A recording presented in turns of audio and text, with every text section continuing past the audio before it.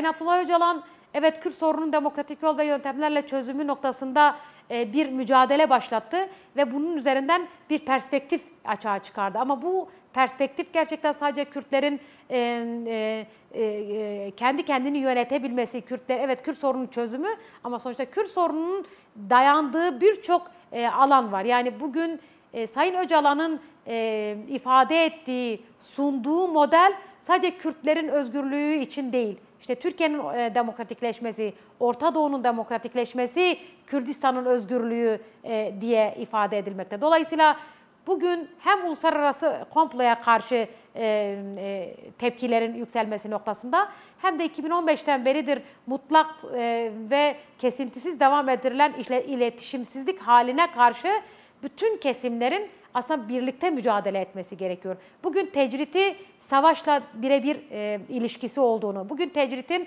ekonomik krizle birebir ilişkisi olduğunu, bugün tecritin doğa alanı ekolojik yıkımla birebir ilişkisi olduğunu, bugün tecritin e, e, değerlere karşı bu devlet zihniyetinin nasıl yaklaştığıyla birebir ilişkisi olduğunu, bugün işte e, kendi ifade ettikleridir. E, savaşa her e, harcanan bombanın kaç milyar dolar olduğunu ifade etmelerinin e, e, ekonomiyle birebir karşılığının ne olduğunu çok net gören bir yerden bugün eğer asıl e, bugün yaşanan bu çokluk krizlerin sebebi savaş ve bu savaşın dayandığı yerde tecritse o zaman tecride karşı birlikte mücadele etmek gerekiyor. Çünkü herkes hepimiz hatırlamalı hatırlamamız gerekiyor.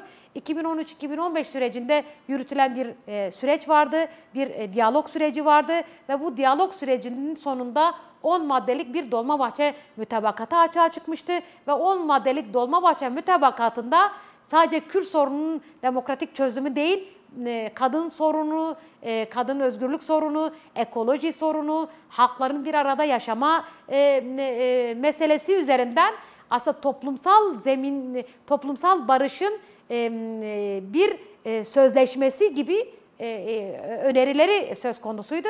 Dolayısıyla Sayın Öcalan bugün Türkiye'nin demokratikleşmesi, Kürdistan'ın Türkiye'nin demokratikleşmesi, Orta Doğu'nun demokratikleşmesi ve Kürdistan'ın özgürlüğü için büyük bir şanstır bu e, e, e, bakış açısıyla. Dolayısıyla biz gerçekten Sayın Öcalan'ın e, bu rolünü, misyonunu oynayabilmesi için özgür olması gerektiğini e, inanıyoruz. Yine Sayın Abdullah Öcalan'ın e, perspektifi sadece Kürt sorununun çözümü için olmadığı gibi Türkiye halklarının da sorunlarını çözümü için olduğu ve gerçekten e, büyük kesimlere de hitap edebilecek ve e, e, her kesimin de kendine lider olarak tarif edebildiği bir şahsiyet. Bugün Kürtler evet belki lider olarak tarifliyor Sayın Öcalan'ı ama Sayın Öcalan'ın oluşturmuş olduğu perspektif herkesi kapsadığı için ona bu tecrite karşı da herkesin birlikte mücadele etmesi gerekiyor.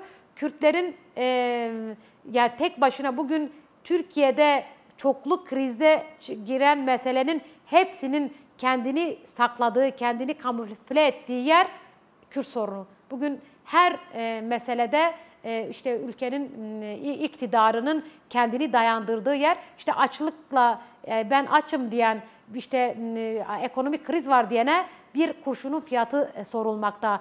Ya da e, emekçiler kendi haklarını aradığında işte bir e, güvenlik e, meselesi öne e, konulmakta. Ya da işte bugün irade gaspıyla ilgili işte Kürtlerin iradesi üzerinden oluşturulan bir mesele bugün işte Türkiye'de diğer kesimlere de e, yansımış e, durumda. Bugün e, Türkiye'de halkların kendi arasında kutuplaştırması meselesi e, e, bu mesele üzerinden tarif edilmekte. Dolayısıyla e, bu meselenin e, çözülmesi için de Sayın Abdullah Öcalan çok net bir tutum ortaya koyuyor.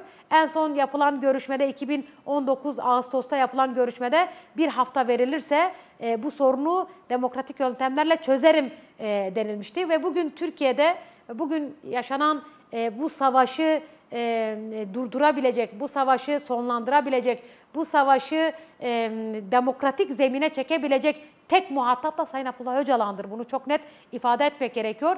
Başka Sunni e, e, liderler, başka Sunni e, kurumlar oluşturmak gerçekten ipe un serme meselesi gibi bir meseledir.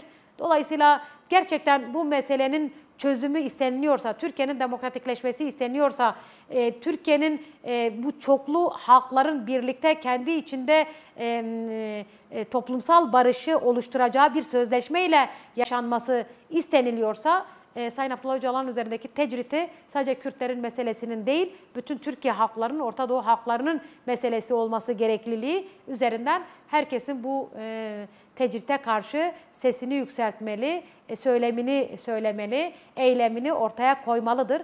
Dolayısıyla biz e, Sayın Öcalan'ın kar, e, uygulanan bu tecriti karşı sadece tecritin kırılması, İmralı kapısının açılması değil, bununla beraber Sayın Öcalan'ın fiziki özgürlüğünün de oluşturularak e, felsefesini, e, düşüncesini, e, çözüm önerilerini bütün kesimlerle özgürce paylaşacağı zeminin oluşturulması gerektiğini inanıyoruz.